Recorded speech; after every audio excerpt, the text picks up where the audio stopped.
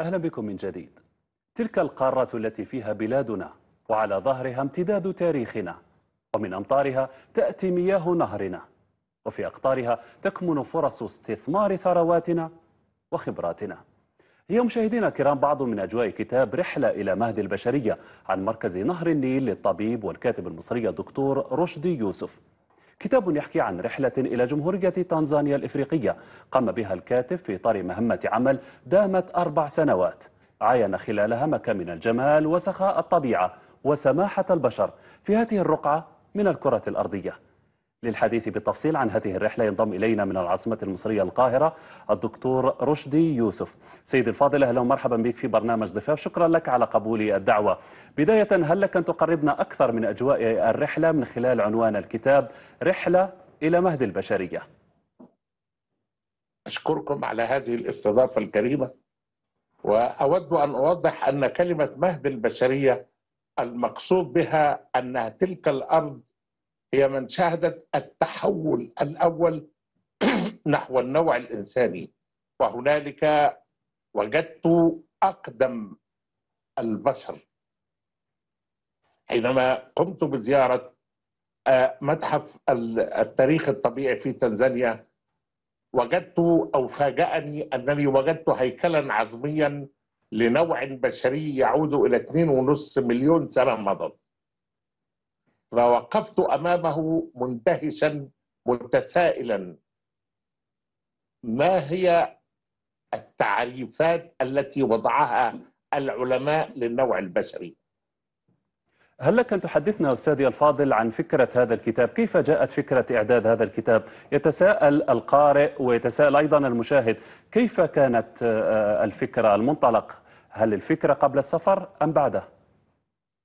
الحقيقة أنا كنت كاتبا في مجلة آخر ساعة المصرية والتقيت بالأستاذ صلاح عيسى رئيس تحرير القاهرة. كنت أكتب عنده أحيانا فنصحني أن أكتب عن تنزانيا. فبدأت أخربش في الموضوع ونشرت مقالات متناثرة ثم جمعت ذلك في كتاب. حكيت فيه قصة الدهشة والأسئلة التي طرأت على ذهني حينما قمت بزيارة هذه الدولة. وما فاجأني فيها أنها كانت مهدا للنوع الإنساني. الأمر الثاني أنني حينما قمت بزيارة إلى جزيرة زنزبار وجدت وجودا عربيا طاغيا. وأذهلني أنني أتحرك داخل أجواء عربية وهناك قصور عربية وحكام عرب يلبسون العمامة العمانية وقصائد مدح كتبت فيهم ومشاهد تاريخية لا تملك تقريبا جزيرة زنزبار من المشاهد السياحية إلا ما يرتبط بالوجود العربي. واكتشفت أنني لا أعرف شيئا عن هذا الموضوع فأعدت قراءة التاريخ تنزانيا وأعدت كتابته حيث أنه لم يكن مكتوبا بشكل كامل فلملمته من المصادر التاريخية وأعدت كتابته. يبقى الآن عندنا موضوعان أدهشان في تنزانيا. الأولى هي التطور النوع البشري والتعريف الذي اصطلح عليه العلماء للنوع البشري. الشيء الآخر هو زنزبار والوجود العربي المحسوس فيها. ثم إنني اكتشفت أن الوجود العربي امتد إلى موزمبيق من بندر عباس إلى موزمبيق امتدت الإمبراطورية العمانية لكي تسيطر على كل هذه المناطق. ثم إن اللغة المتداولة هي لغة تحتوي على أكثر من 60% مصطلحات عربية. هذا التاريخ كان مجهولا بالنسبة لي وهذا ما يعني عملت بحثا عليه طوال السنوات الأربع حتى انتهيت إلى هذا الكتاب الذي بين أيديكم. طبعا هذه الرحلة التي امتدت أربع سنوات من عام 2004 إلى غاية 2008 هي رحلة آه، الطبيب المصري طبيب الأمراض الصدرية.